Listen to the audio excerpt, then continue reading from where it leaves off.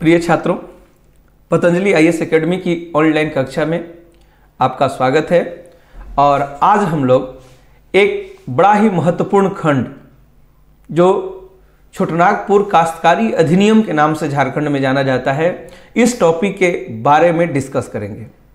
आज जो हम डिस्कस करने जा रहे हैं, उस डिस्कस का पॉइंट ये है कि झारखंड में आदिवासी जमीनों की रक्षा के लिए अंग्रेज़ी काल में जो सबसे महत्वपूर्ण कानून बना, जिसका नाम था छोटनागपुर टेनेंसी एक्ट, यह एक्ट लाने के पीछे कौन सी परिस्थितियाँ जिम्मेवार थी? यानी सीएनटी की पृष्ठभूमि। सीएनटी की पृष्ठभूमि की ओर अगर हम लोग जाएँ तो आप देखें उसको हमने चार भागों में बांटने की कोशिश की है। पहली बात, झारखंड पर अंग्रेज़ी नियंत्रण मतलब झारखंड का जो भू क्षेत्र है, इस भू क्षेत्र पर अंग्रेज़ कैसे अपना अधिकार स्थापित किए और इस क्षेत्र के लगान की वसूली के लिए, इस क्षेत्र के संसाधनों पर नियंत्रण के लिए कौन कौन से कानूनों का निर्माण किए। इसके पश्चात हम चर्चा करेंगे कि उन्होंने जो व्यवस्था लागू की, उस व्यवस्था का यहाँ के जीवन पर क्या प्रभाव पड़ा? खास करके आदिवासियों के जीवन पर वे क्या प्रभाव लेकर के आए? इतना तो तय था कि प्रभाव शोषणकारी था, दमनकारी था। इसका परिणाम क्या होगा? तो हम देखेंगे तीसरे चरण में कि यहाँ विद्रोही गतिविधियाँ मतलब अंग्रेज़ों की व्यवस्था से तंग आकर के कुछ जनजातियाँ लगातार विद्रोह करना आरंभ कर देंगी। परिणाम क्या होगा?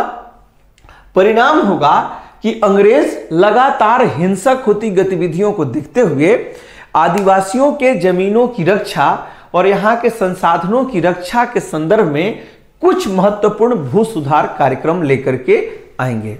परंतु ये कार्यक्रम पर्याप्त नहीं साबित होंगे और यही वो आवश्यकता है जब सीएनटी की आवश्यकता महसूस की जाएगी। बिरसा मुंडा के विद्रोह ने ये पृष्ठभूमि रख दी कि अगर छोटा नागपुर क्षेत्र में अंग्रेज़ी नियंत्रण को दीर्घकाल तक बनाए रखना है तो ऐसे में यहाँ पर आदिवासी हितों की रक्षा के लिए एक सार्थक कानून अनिवार्य होगा। देखिए, मैं इसकी परत दर परत आज आपसे व्याख्या करूँगा। सबसे पहले मैं चर्चा करता हूँ कि झारखंड पर अंग्रेज़ी नियंत्रण किस प्रकार स्थापित हुआ और कैसे ये आगे बढ़ा। 1765 में बक्सर का युद्ध होता है। 1764 में बक्सर का युद्ध होता है। इस युद्ध में बंगाल का नवाब मीर कासिम अवध का नवाब सुजाउदौला और मुगल बादशाह शाह आलम तीनों ब्रिटिश सेना के सामने पराजित हो जाते हैं। ऐसे में एक ब्रिटिश अधिकारी, लॉर्ड क्लाइव, भारत आने के पश्चात इन तीनों शासकों के साथ इलाहाबाद की संधि करती है। 1765 में जो इलाहाबाद की संधि की गई, उसमें एक प्रस्ताव किया गया, खास करके मुगल बादशाह शाह आलम टू ने ब्रिटिश ईस्ट इंडिया कंपनी को यह अधिकार दे डाला कि कंपनी बंगाल के क्षेत्रों में दीवानी अधिकार प्राप्त करें। यानी दीवानी का मतलब होता है ज़मीन, जायदाद, संपत्ति, उत्तराधिकार, वसीयत से जैसे विषयों को दीवानी अधिकार कहते हैं। अर्थात बंगाल में लगान लगाने, लगान की वसूली करने और लगान पर नियंत्रण करने का अधिकार पूरी तरह से अंग्रेज़ी ईस्ट इंडिया कंपनी को प्राप्त हो गया। जब अंग्रेज़ी ईस्ट इंडिया कंपनी को अधिकार प्राप्त हुआ तो चूँकि बंगाल एक बड़ा सूबा था और इसी के अंतर्गत बिहार, उड़ीसा और झारखंड और आज का बांग्लादेश का भी भूभाग आता था। ऐसे में जो प्रोविज़न बंगाल के लिए मिला, वह झारखंड के लिए भी मिला।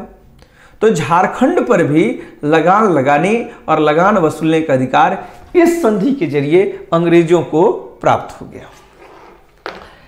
आगे चल करके अंग्रेज़ सीधे झारखंड की भूमि में प्रवेश करते हैं। और सर्वप्रथम 1767 में झारखंड की भूमि पर अंग्रेज़ों का प्रवेश सिंहभूम के क्षेत्र में होता है और सिंहभूम में पुरहट के राजा जगन्नाथ ढाल हैं। अंग्रेज़ जगन्नाथ ढाल की जगह नीमू ढाल को वहाँ का शासक बनाते हैं ढालभूम क्षेत्र का। उद्देश्य था नया शासक अधिक लगान देगा, अधिक भुगतान करेगा। इसके साथ शर्तों को करना आसान होगा, मनमानी करनी हो, की सुविधा होगी, इसलिए प्रयास किए गए। सिंहभूम पर बाद में हो जनजातियों का कुछ इलाके थे।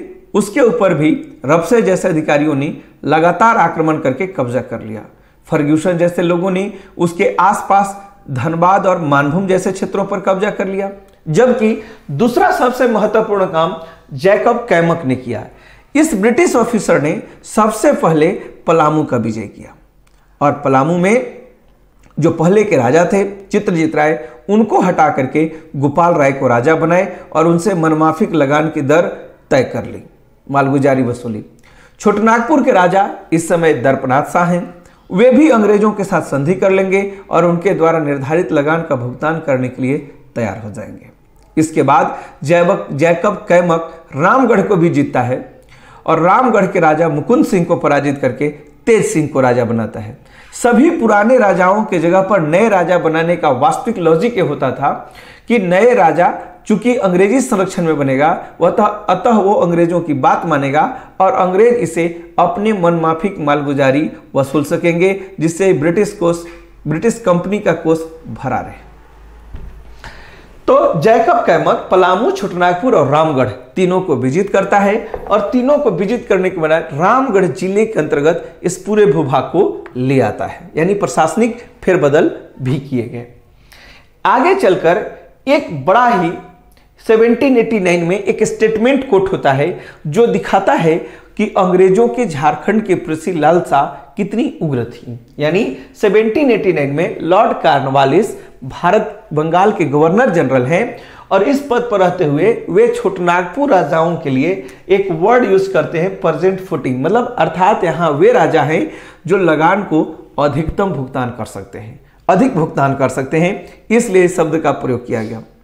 1793 में बंगाल में पहली बार एक बड़ा सेटलमेंट हुआ, जिसे परमानेंट सेटलमेंट अस्थाई बंदोबस्त या जमींदारी बंदोबस्त के नाम से जानते हैं। इसमें एक भारत की पूरी कृषि प्रणाली में व्यापक परिवर्तन हुआ था। क्यों? क्योंकि इसके पूर्व राजतंत्रीय सत्ता में राजा भूस्वामी होता था। प्रजा खेती करती थी, बदले में राजा को लगान भुगतान करती थी। यानी ज़मीन या तो किसान के पास होते थे या ज़मीन राजा का होता था। परंतु अब जमींदार भूस्वामी हो गए और जमींदारों को इस बंदोबस्त के ज़रिए अधिकार मिला कि वे लोगों से कितना लगान वसूलना है, इसकी निर्धारण कर सकें। जो व्यक्ति लगान न दे, उसे भूमि छीन सकते हैं और किसी दूसरे को नीलाम कर सकते हैं। यानी जमींदार भू स्वामी बन गए और वे सर्वे सर्वा ऑल इन ऑल बन गए। किसी को अपदस्थ करना, किसी को भू अधिकार देना, ये सब कुछ उनके अंदर का खेल हो गया। हाथों का खेल हो गया। ऐसे में एक जमींदारी सेटलमेंट लागू हुए। बाद में अंग्रेज़ों ने यहाँ के एक सामान्य पेय पदार्थ, जिसे हड़िया कहा जाता है, जिसे देवी देवताओं पर भी तपान के रूप में अर्पित किया जाता है और साथ में लोग इसका उपभोग भी करते हैं। यह बासी चावल से बनाया जाता है। इसके ऊपर उन्होंने कर लगाया, जिसे पुत चई कर कहते थे। ठीक है? 1878 में अंग्रेज़ों ने इस क्षेत्र के लिए एक वन प्रबंधन कानून लेकर आया, यानी जंगल और जंगल के उत्पादों के उपभोग, उसमें प्रवेश से जुड़े कुछ निश्चित नियम बनाए गए, जो आदिवासियों पर भी लागू होते थे। इस क्रम में ऐसे बहुत सारे और भी प्रोविज़न हैं, परंतु मैंने समग्र को यहाँ लाने की आवश्यकता नहीं समझी, क्योंकि एक कॉन्सेप्ट खड़ा करना था कि किस प्रकार झारखंड में अंग्रेज़ आते हैं पहले चरण में दीवानी अधिकार प्राप्त करते हैं। फिर यहाँ के सभी पुराने राजाओं को अपदस्त करके अपने संरक्षण वाले राजाओं को यहाँ पर स्थापित करते हैं। कैसे जैकब कैमक रफ से जैसे अधिकारी बाकी के क्षेत्रों को विजित करके एक अंग्रेज़ी सेटलमेंट व्यवस्था के अंतर्गत ला के खड़ा कर देते हैं। जब वे पूरे व्यवस्था पर अपना नियंत्रण कर लेते हैं राजनीतिक इकाई पर उनकी पकड़ सुनिश्चित हो जाती है तब वे यहाँ की अर्थव्यवस्था को अपने हिसाब से संचालित करना आरंभ करते हैं। इस क्रम में जमींदारी बंदोबस्त और पुतचई कर एग्ज़ाम्पल है। बाद में जंगली उत्पादों पर भी कंट्रोल करना ये अपने आप में कम आश्चर्य की बात नहीं थी। अब हम झारखंड के आदिवासी समाज के उन हकीकतों की ओर आपको लेकर के चलते हैं। जिसमें क्या है? वास्तव में पूरे प्रकरण को आप ऐसे समझें कि झारखंड आरंभ में एक जंगल प्रदेश था और झारखंड जो आरंभ में जो जंगल प्रदेश था, यहाँ पर बाहर के आदिवासी समुदाय के लोग बड़े पैमाने पर आया करते थे। कोई रोहतास से चल कर आया था, कोई और दुर्गम क्षेत्रों से चल के आया था और यहाँ पर आने के बाद उन्होंने यहाँ के जंगलों की कटाई की, जंगलों का सफाया किया। फिर उसके ऊपर खेती की, वहीं पर अपना घर बसाए, आसियाना बसाया और इस प्रकार इन सारों के द्वारा उन्होंने जंगलों में अपने लिए एक जीवन शैली विकसित की। इस जीवन शैली में भूमि पर सबका सामूहिक अधिकार होता था। मुंडाओं ने जिस भूमि को विकसित किया, उसे खूट कटी भूमि कहते थे। उराओं ने जिस भूमि को विकसित किया, उसे भूहर भूमि कहते थे। इसी प्रकार, जो सदानों ने विकसित किया, वैसे ही भूमि को कोड़कर भूमि कहते थे। यानी यहाँ के जनजातियों के द्वारा बड़े पैमाने पर भूमियों का विकास किया गया। ऐसी भूमि जिसमें कृषि कार्य की जा सकती थी और इस भूमि पर सबका सामूहिक अधिकार था। एक गाँव, दूसरे गाँव के बीच में कोई विवाद न हो। इसके लिए उन्होंने एक गणतंत्रात्मक व्यवस्था की। प्रत्येक गाँव में एक अखड़ा, सरना जैसे स्थल बनाए। अखड़ा पंचायत होती थी, जिसमें गाँव की पंचायत को खुटकटी पंचायत कहते थे। दस बीस गाँव मिलकर के एक पढ़ा पंचायत बनाते थे, जिसका प्रमुख मानकी होता था, यानी मुंडा मान की व्यवस्था होती थी। यह आपसी विवादों को हल करना, सामाजिक नियम बनाने का कार्य करना, न्यायिक फैसले देने का कार्यक्रम सब कुछ करता था। परंतु अंग्रेज़ों के आने के बाद यह एक बात यहाँ और समझ लीजिए। ज़मीन सामूहिक है, ज़मीन इनके द्वारा विकसित की गई है। ज़मीन और अपने जीवन की व्यवस्था के लिए अपनी परंपरागत पंचायती व्यवस्था है। इन सब के साथ साथ एक बात और भी है, जो आपको ध्यान देने की ज़रूरत है, और वो क्या है? वह व्यवस्था है जंगलों का प्रबंधन। आदिवासी जंगलों को अपनी संपत्ति समझते थे, जंगलों को बचाते थे, विभिन्न पौधों से उनका सीधा संबंध था, धार्मिक प्रतीक भी थे। वे मरांग गुरु कह करके पहाड़ों की पूजा भी करते थे। यानी जंगल, ज़मीन सब उनके लिए धार्मिक आस्था के भी केंद्र हुआ करते थे। अब नियति को क्या पसंद है और क्या हो रहा है, आप ऐसे समझें। ये तो था कि आदिवासियों की हकीकत क्या थी। ये पूरी व्यवस्था जो अंग्रेज़ों के द्वारा आरोपित की गई, इस पूरी व्यवस्था के अंग्रेज़ी सिस्टम पर पहला प्रभाव यह हुआ कि आदिवासी भूमि गैर आदिवासियों के हाथों में स्थानांतरित हो रही है। यानी यहाँ पर क्या होने जा रहा है, कैसे हुआ, इस पूरे सिस्टम को हम आपको समझा रहे हैं। पारंपरिक शासन व्यवस्था का अंत हो जाएगा। दीकू समाज की स्थापना हो जाएगी। अर्थात हुआ क्या? जमींदारी सेटलमेंट छोटानागपुर क्षेत्र में लागू कर दिया गया। जिस जमींदारी सेटलमेंट को छोटनागपुर क्षेत्र में लागू किया गया, इसे जमींदार भूस्वामी बने। वे नीलामी पद्धति से अधिकार प्राप्त करते थे। अब एक आदिवासी के ऊपर इतना अधिक कर निर्धारित कर दिया गया है कि वो आदिवासी करों का भुगतान करने में पूरी तरह असमर्थ है अगले वर्ष। अगर वो भुगतान नहीं कर पा रहा है तो जमींदार उससे ज़मीन छीन करके किसी और को ज़मीन दे रहे हैं। किसी और, एक किसी और वर्ड जो है वो किसके लिए है? वो किसके लिए है? तो किसी और का मतलब है गैर आदिवासी। यानी उत्तर बिहार से आने वाले लोग बंगाल से आने वाले बंगाली समुदाय के लोग, इन लोग आते थे, साहूकार समाज के लोग। इन लोग एक कह करके लगान कि मैं लगान चुका दूँगा, इस पर उचित लगान दूँगा, और आदिवासी ज़मीन को ले रहे थे। जिस आदिवासियों ने जंगलों को काट करके जमीनों को खेती के लायक बनाया हो, सामूहिक रूप से खेती करते हो, वो ज़मीन पर्याप्त लगान भुगतान न करने के कारण अगले वर्ष उनके हाथों से निकल करके दूसरे के हाथों में चली जा रही है और आदिवासी एक प्रकार अपने ज़मीन से हाथ धोते चले जा रहे हैं। ये पहली विसंगति थी जो लोगों के सामने आई। यहाँ एक तरीका और भी था कि ज़मीन के विवाद अगर पहले उत्पन्न होते थे तो ज़मीन पर हक किसका हो? इसका तय करने का फैसला जातीय पंचायत होता था, जिसे अलग अलग जनजातियों में किसी में ढोकलो सोहर किसी में मुंडा मानकी, किसी में माझी परगणे के नाम से जाना जाता था। परंतु अंग्रेज़ जब अपने हिसाब से क्षेत्रों को जीते तो इस क्षेत्र में थाना प्रणाली, कलेक्टर प्रणाली, कमिश्नरी प्रणाली जैसे आधुनिक प्रशासनिक इकाइयों की स्थापना करना शुरू कर दी। सभी विवादों को हल करने के लिए जिला थाने में अदालतें लगने लगी, कोर्ट में फैसले होने लगे। ऐसे में मुंडा मानकी जैसे पद ढोकलो सोहर जैसे पद बेईमानी हो गए। क्योंकि उनके अधिकार रहे ही नहीं।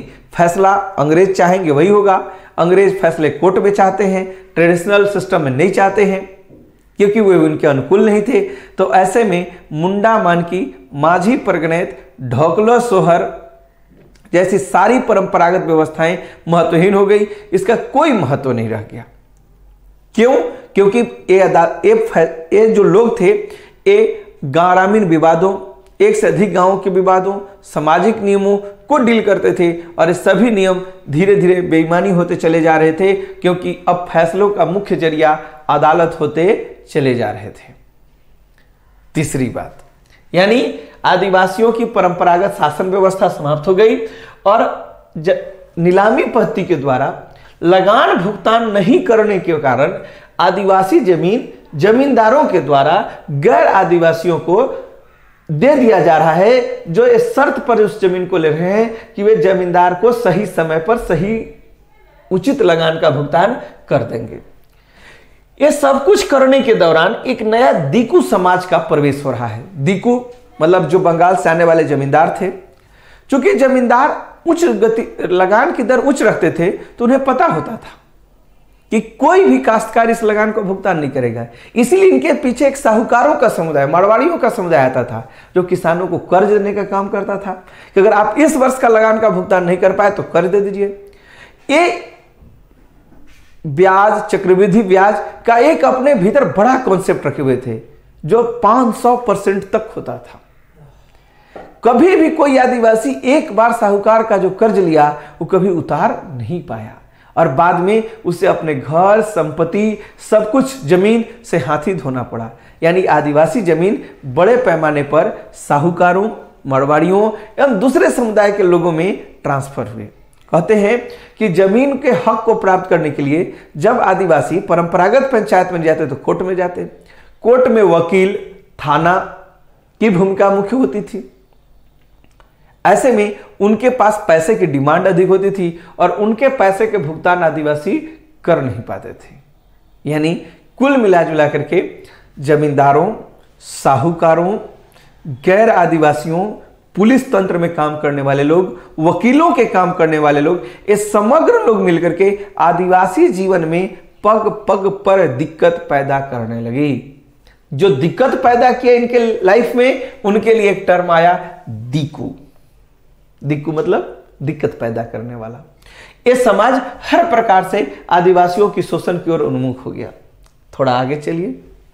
अंग्रेज़ों ने जब जंगल कानून लाया तो जब ज़मीन से आदिवासी अधिकार छोड़ रहे थे या उनके हाथों से ज़मीन निकल रही थी तो उनका आश्रय क्या था?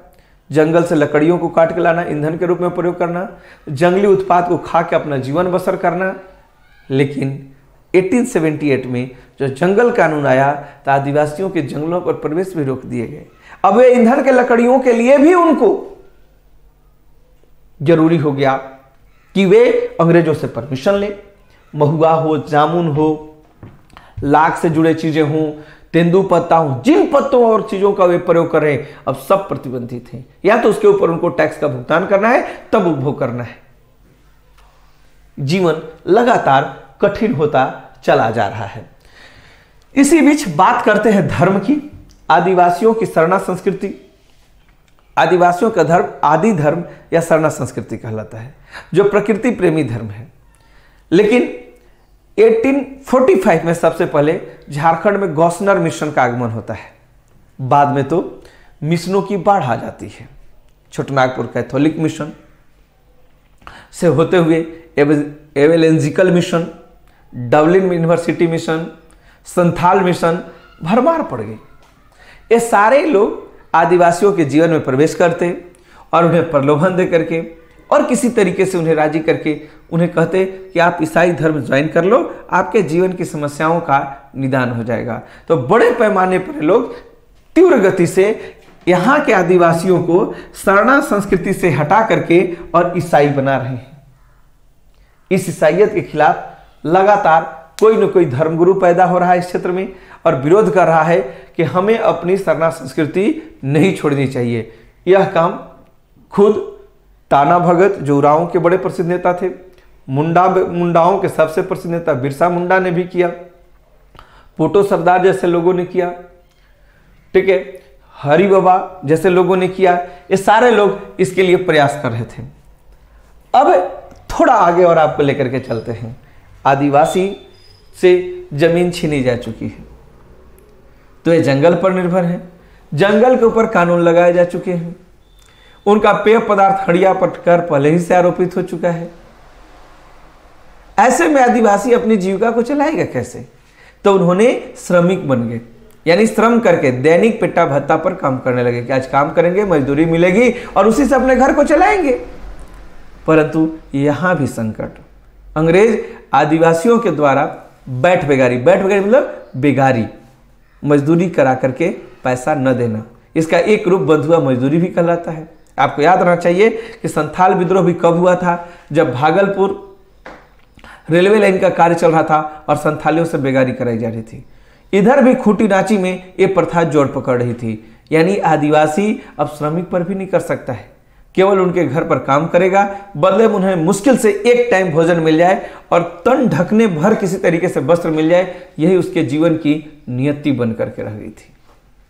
कहते हैं कि इसके बाद एक और अध्याय और दौर चला कि बाद में आदिवासी महिलाओं को उठा करके दिकू समाज ले जाने लगा। अब आदिवासियों के पास बचा क्या था? ज़मीन पहले से चले गए। समाज के गण्यमान्य व्यक्ति लुप्त हो गए। पारंपरिक शासन व्यवस्था चली गई। इन सबके जाने के बाद जंगल में प्रवेश पर प्रतिबंध लग गए, हड़िया निर्माण पर प्रतिबंध लग गए, बेगारी प्रथा शुरू हो गई और लास्ट में महिलाओं को भी लेकर के जाने लगे। मतलब समाज संकट में, धर्म संकट में, संस्कृति संकट में, राजनीतिक व्यवस्था संकट में और अब तो घर की इज़्ज़त और आबरू भी संकट में।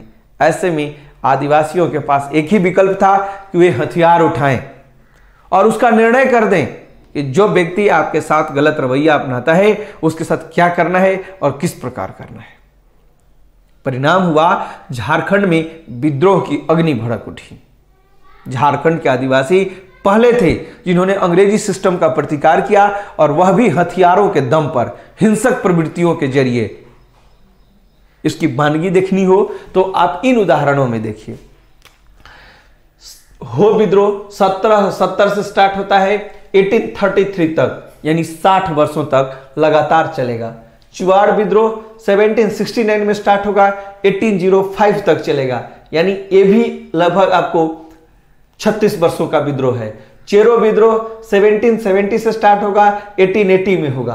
तमाड़ विद्रोह, जो मुंडाओं का क्षेत्र है 1780 टू 1807 तक चलेगा। कोल विद्रोह, जिसका नेतृत्व बुद्ध भगत करेंगे 1831-32 गंगा नारायण का भूमिज विद्रोह 1832 मुंडा विद्रोह 1739 टू 1832 बिरसा का आंदोलन 1895 टू 1900 सारे विद्रोह क्या दर्शाते हैं? सारे विद्रोह एक ही तरह से दर्शाते हैं कि आदिवासियों ने कभी बिना थके, जब एक बार विद्रोह की शुरुआत हुई तो कभी गति कम, कभी गति अधिक। कभी तीव्र, कभी धीमी, लेकिन अंग्रेज़ी सिस्टम को स्वीकार नहीं किया। अनवरत विद्रोहों का जाल बिछा दिया। कोई पलामू में, कोई माड़भूम में, कोई सेबम के क्षेत्र में, कोई रांची में, कोई खुटी में, कोई कुल्हान रीजन में, कोई भी क्षेत्र छोटा नागपुर का।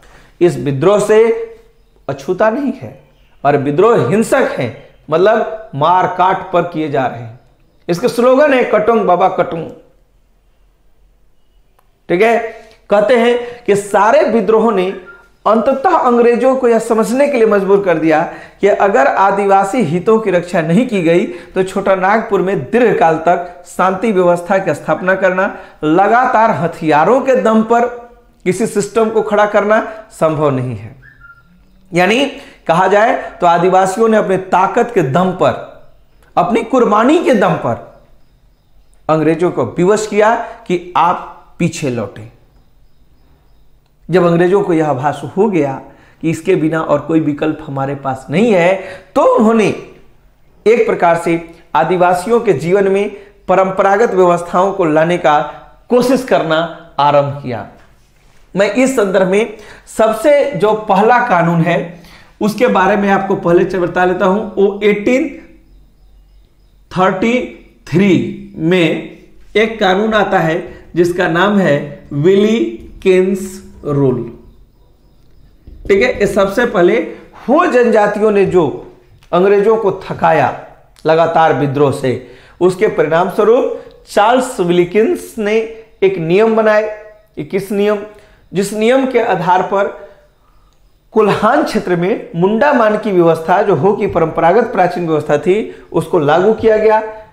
हो जनजाति को ज़मीन से जुड़े अधिकार वापस किए गए और मुंडा मानकी के ज़रिए ही लगान वसूली का प्रयास किया गया। जमींदारों की भूमिका पहले संकुचित की गई, बाद में समाप्त की गई। तो उसके द्वारा स्थापित किए गए। तो जाकर के मुंडा मान की व्यवस्था की पुनर्स्थापना होना, होने के कारण हो जनजाति अपने जीवन में शांति लेकर के आई। यानी पहली बार अगर झारखंड में अंग्रेज़ों को किसी ने झुकाया तो हो जनजाति के लोग थे। विल्किंसन रूल के ज़रिए एक अलग प्रकार का सेटलमेंट कुल्हान क्षेत्र में किया गया, जिससे वहाँ पर शांति आई। फिर 1850 के डिकेट में जब छोटनागपुर क्षेत्र में बड़े बड़े विद्रोहों की स्थिति आई तो अंग्रेज़ों ने 1869 में छोटनागपुर टेन्योर्स एक्ट एक कानून लेकर के आए। Actually Chotanagpur tenures act Gumla Lohardaga क्षेत्र में जो मूल रूप से उराव जाति रहती थी, जिनकी भूमि को भूहरी भूमि बोलते थे, उस भूहरी भूमि के सर्वे के आधार पर निर्मित कानून था। सर्वे मतलब यह ज़मीन किसका है? कौन मालिक है? कितने दिन से जोत रहा है? कितना लगान देता है? इसका एक रिकॉर्ड अधिकार, अभिलेख तैयार करके इस एक्ट को लागू किया गया। आगे चल करके 1876 में छोटनागपुर इनकवर स्टेट एक्ट की भी स्थापना की गई। 1879 में Chotanagpur land and tenant procedure act लाया गया। एक्चुअली जो छोटनागपुर टेन्योर सेट की कमियाँ रह गई थी, उसे दूर करने के लिए Chotanagpur land and tenants procedure act को 1879 को फिर से लाया गया। ये प्रोविज़न इसमें मौलिक रूप से हम लोग देख रहे हैं। यानी भूहरी के जो बाहर की ज़मीन थी, जो कुड़कर जो दूसरी ज़मीन थी उनको भी इसमें शामिल किया गया ताकि काश्तकारों के हितों की वास्तविक तौर पर रक्षा की जा सके। ठीक? हम एक और चमत्कारिक परिवर्तन देख रहे हैं यहाँ पर। 1888 में झारखंड की जो आठ आदिम जनजातियाँ हैं, इन जनजातियों को पंचवाई मतलब जो हड़िया जैसा ही देसी शराब है, उसके निर्माण की सीमित पैमाने पर इजाज़त दी जा रही है। यानी जब हम धरातल के इस मोड़ पर खड़े हैं तो पुतचई नामक कर लगाया जा रहा है जो हड़िया के ऊपर है, और यहाँ पंचवई जब ए, एटीन, ट्वेंटी फोर की घटना है, और 60 वर्षों के बाद हम देख रहे हैं कि अंग्रेज़ ये अधिकार फिर से वापस दे रहे हैं। पंचवई जो है, अंग्रेज़ बनाने का अधिकार वापस दे रहे हैं। इसी बीच 1885 में बंगाल टेनेंसी एक्ट लाया जा रहा है। बंगाल बंगाल टेनेंसी एक्ट को एक पॉइंट से समझिए डील कीजिए कि जो किसान 12 वर्ष तक लगातार भूमि को जोतता हो, ठीक है? उसे अगर लगान भुगतान किया जाए तो कोई भी काश्तकार को उस ज़मीन से बेदखल नहीं किया जाएगा। यानी जमीनों से जुड़े किसानों के अधिकारों की रक्षा के लिए ये अंग्रेज़ों के द्वारा बनाया गया पहला व्यापक और वास्तविक फ़ायदेमंद कानून माना जाता है, जो झारखंड में भी प्रभावी हुआ। इसके बाद अठारह सौ पंचानवे में बिरसा मुंडा का विद्रोह ने सब कुछ बदल करके रख दिया। खास करके बिरसा मुंडा ने क्या किया? बिरसा मुंडा ने कहते हैं कि संगठन और शक्ति बना करके एक क्रिसमस के दिन 25 दिसंबर को अंग्रेज़ों के चर्च पर मिशन पर हमले हो रहे हैं। और बड़े पैमाने का कत्ल हो रहे हैं। इस घटना ने पूरे यूरोप को हिला दिया। इंग्लैंड को भी सोचने के लिए मजबूर किया और हुआ कि अब इस दिशा में कोई ठोस कदम उठाया जाए। तो 1900 में तो बिरसा का निधन हो गया बट 1902 में सीएनटी कानून के लिए सर्वे स्टार्ट किया गया, जिसे कडस्ट्रल सर्वे का नाम से जाना जाता है। ट्रवर्स सर्वे के नाम, इन दोनों के नाम है। 1903 में फिर सर्वे हुआ और इसी सर्वे रिपोर्ट के आधार पर यह फैसला किया गया कि सीएनटी एक्ट कैसा होगा? बाद में सीएनटी एक्ट 1905 में लाया गया, परंतु यह ट्रायल कर सकते हैं। सीएनटी वास्तविक रूप में प्रभावी हुआ 1908 में 11 नवंबर को। आप समझ गए होंगे कि सीएनटी कानून की पृष्ठभूमि क्या है। पहली पृष्ठभूमि का आधार था, अंग्रेज़ झारखंड पर नियंत्रण लाए, प्रशासनिक व्यवस्था अपने हिसाब से लाई, लगान सिस्टम अपने हिसाब से लाए। इसके परिणाम स्वरूप आदिवासियों का जीवन सख्त संकट में चला गया। इनकी भूमि गई, इनके जंगल से जुड़े अधिकार गए, इनके धर्म जाने लगे, इनके सामाजिक व्यवस्था चरमराने लगी, इनके बेगारी प्रथा इनमें प्रचलित होने लगी, महिलाओं पर यौन अत्याचार बढ़ गए। अंत में इन सबसे तंग आकर आदिवासियों ने हथियार उठाया। प्रत्येक क्षेत्र में लगातार विद्रोह हुए। बाद में अंग्रेज़ मजबूर हुए कि पुनर्व्यवस्था स्थापित होनी चाहिए और पुनर्स्थापना के कुछ व्यवस्था किए गए, परंतु इन व्यवस्थाओं के बावजूद भी बिरसा मुंडा का विद्रोह होना दर्शाया कि ये व्यवस्थाएँ पर्याप्त नहीं है तो अंततः बिरसा के निधन के बाद सीएनटी का सर्वे स्टार्ट हुआ और इसी सर्वे के आधार पर सीएनटी एक्ट 1908 लाया गया। अगली कक्षा में सीएनटी के हम मौलिक प्रोविज़न की चर्चा करेंगे, जो आपको सरल होगा। सीएनटी के शब्द बड़े जटिल होते हैं, लोग उसे पढ़ना नहीं चाहते हैं, परंतु जेपीएससी के लिए इसकी ठोस उपयोगिता है। इस चैप्टर से ही आपको छह प्रश्न पूछे जाएँगे, अतः आप इसे इग्नोर नहीं कर सकते हैं, यह आपके रिज़ल्ट के लिए बेहद निर्णायक है। ऐसे में सीएनटी एक्ट के प्रावधानों को सरल शब्दों में समझने के लिए और इसे क्या संभावित प्रश्न पूछे जा सकते हैं, इसके लिए आप आगे का वीडियो देखिए और आगे के लेक्चर को ज्वाइन कीजिए। मैं आपके सुखद एवं सफल जीवन की कामना करता हूँ। धन्यवाद।